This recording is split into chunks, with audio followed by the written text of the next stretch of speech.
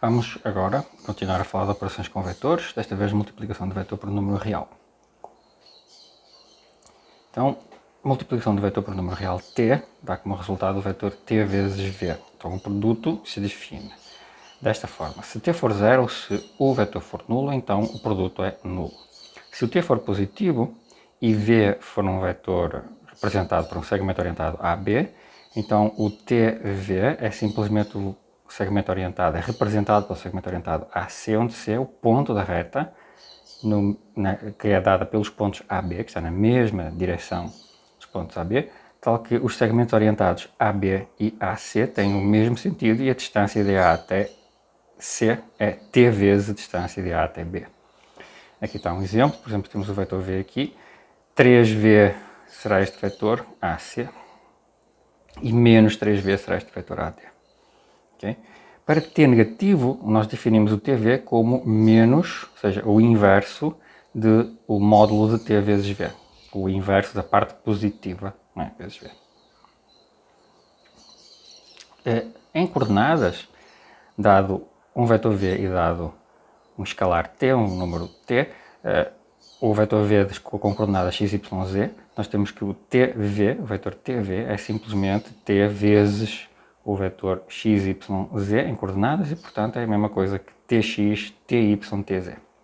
Portanto, usando as propriedades de multiplicação e soma de números reais, nós obtemos uh, que igual à associatividade com números reais, portanto, S real vezes TV é igual a ST vezes V, vale a distributividade da soma, S mais T vezes V é igual a SV mais TV, com S e T reais, e vale a a distributividade com a soma de vetores também t vezes o soma de v com w, dois vetores, é a mesma coisa que tv mais tw, onde o s o t são reais e o v e o w são dois quaisquer vetores.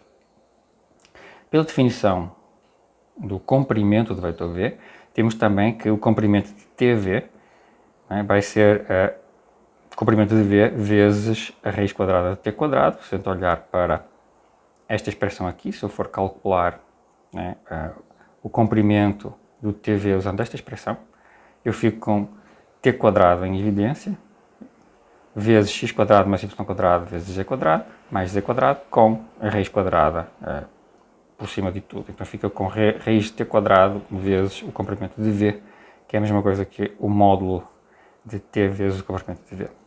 Qualquer que seja o v, qualquer que seja o número real. Em particular, observe que 1 vezes v é o próprio v naturalmente, né? Multiplicamos aqui por 1, então fica tudo igual. Certo? Uh, uma ilustração da multiplicação do vetor por número real, temos aqui de novo o vetor v, 3 vezes v, metade vezes v, meio v, tem a mesma direção, mesmo sentido, metade do comprimento, aqui menos 2v, tem o dobro do comprimento, a mesma direção, mas sentido oposto. Okay? Vamos em seguida falar sobre eh, a soma de um ponto com uh, um uh, vetor, ou o deslocamento de um ponto por um vetor. Okay? Esta é uma operação muito importante, muito útil para nós. Aplicamos a definição intuitiva de vetor como um deslocamento e definimos a noção de soma de um dado ponto, A, x, y, z, com um dado vetor v. Se o vetor for v1, v2, v3, ele pode ser representado por um segmento orientado com origem em A, ou seja, existe um ponto B tal que o segmento orientado AB tem a mesma direção, sentido e comprimento de V. Então, o ponto B é, por definição, a soma A mais V. As coordenadas de B são dadas por x, y, z, as coordenadas de A, mais as coordenadas do vetor, V1, V2, V3, e nós somamos coordenada a coordenada, x mais V1, y mais V2, z mais V3. Este é, este, esta tripla representa as coordenadas do ponto B. A mais V dá um ponto B somando abscissas, ordenadas e cotas de A e V. Okay? Então é simplesmente somar as coordenadas do vetor com as coordenadas do ponto inicial. Por exemplo, temos aqui o A, temos aqui o vetor, uma representante do vetor V, está aqui, e o B é o A mais V, é simplesmente pegar no vetor A, no ponto A, perdão, pegar no vetor V, colocá-lo partindo de A, né? e observar qual é o, o representante do mesmo vetor V começando em A. tem este, é este segmento A, B. Né? E este ponto B, aqui no fim, é por definição a soma de A com V. Exemplo, determina a extremidade do segmento que representa o vetor V2 menos 5, sabendo que sua origem é o ponto menos 1, 3.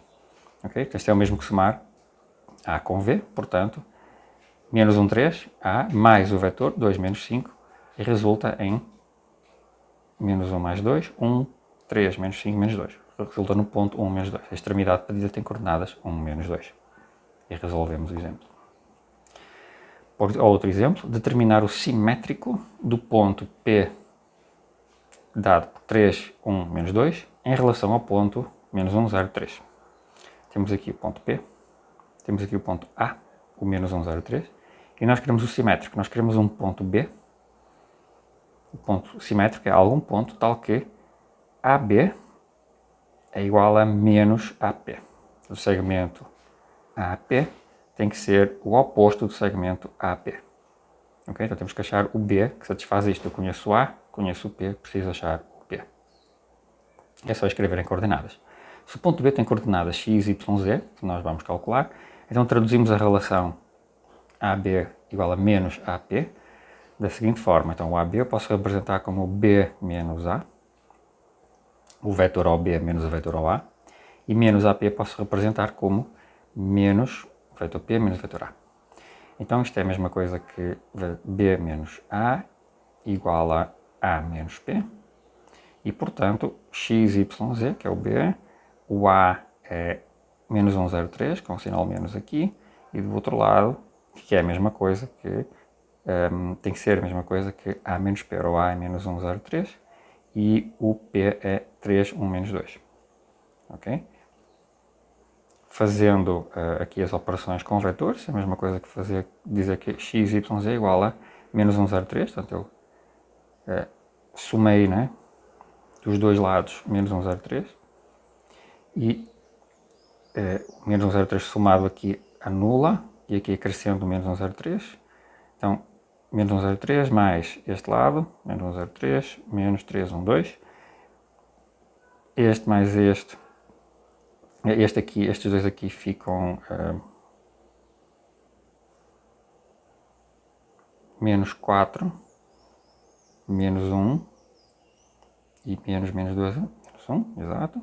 E aqui menos 1, 0, 3 com menos 4, menos 1, menos 1 resulta em menos 5, 0, menos 1, menos 1 e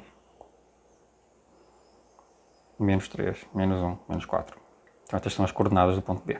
O que é que a gente fez? Nós escrevemos esta relação usando que conhecendo o ponto P, conhecendo as coordenadas de A e colocando as coordenadas de B como desconhecidas, as variáveis x, y, z que nós precisamos de achar. E escrevemos a equação. A, B é a mesma coisa que B menos coordenadas de B menos as coordenadas de A.